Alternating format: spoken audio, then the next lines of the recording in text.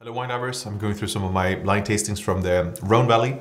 Here we are in um, Gigondas. This is Arnoux Vieux Clocher, Nobles Terrasses. And um, this is still a youthful wine, uh, classic blend, um, mainly Grenache with the Syrah Mourvèdre. It's showing a, a, sweet nose. We have a slight hint of, of confiture here or jammed plums with um, red berry fruit. There's a nice level of spiciness here, pepper, clove, some of the distinct um, garrigue as well. This is a wine with a rather bold and broad texture.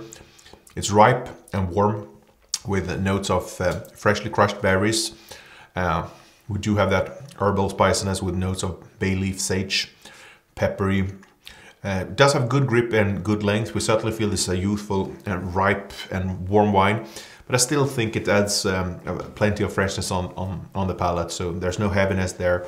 And uh, with another few years of aging, it will gain more complexity and harmony.